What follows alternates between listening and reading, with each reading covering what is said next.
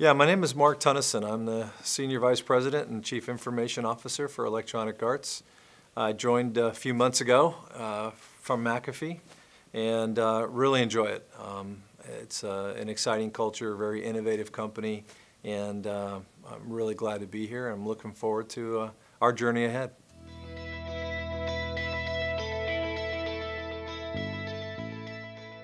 We're trying to make dramatic changes for the business. We're trying to improve, a lot of times, efficiency, operational efficiency, or we might be turning on new capabilities. In the case of Electronic Arts, we're moving more and more of our business to digital revenue models, and we have to operationalize those.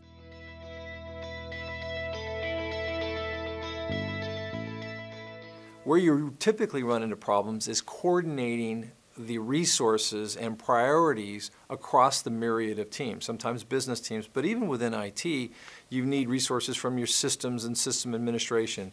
You need resources from database administration. You need development resource, project management or product marketing kind of resources. So you have all these plus consulting, outside service resources. So you have to coordinate when you need them for the right activity that you're trying to execute to at that point in time in the project you lose a lot of time in that coordination uh, because you typically have more things going on than just one project. You also have day-to-day support that most teams are providing. So you've got a lot of things to negotiate and navigate through to ensure that when you need that resource, that resource is available. That's typically where most projects go off track is you just don't have those resources available. Too much time is lost in between while you wait and you, you end up serializing all activities versus parallelizing things that you can get maybe more projects done in a shorter amount of time.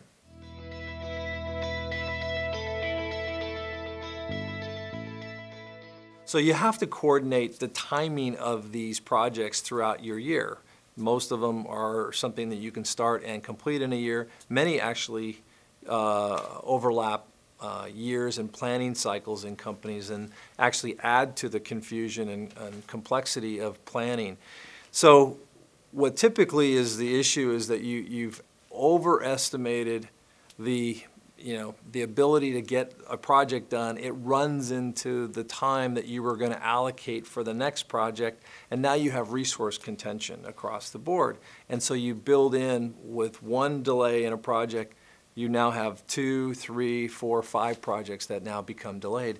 This is just a progressively problematic situation that you have throughout most IT organizations. So it starts with the planning, and the poor, maybe poor planning, underestimating complexities, but it's also in managing the resources and resource conflicts and assignments that happen throughout a project's life cycle.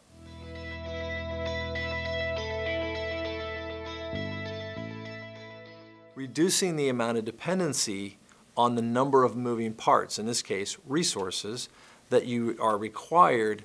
Uh, it could be in technology as well, but, but large uh, percentage of time it's resources.